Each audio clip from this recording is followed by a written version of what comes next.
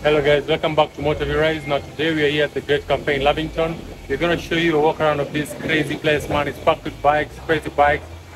You will see everything, man. Just stick until the end of the video to see. Stay locked.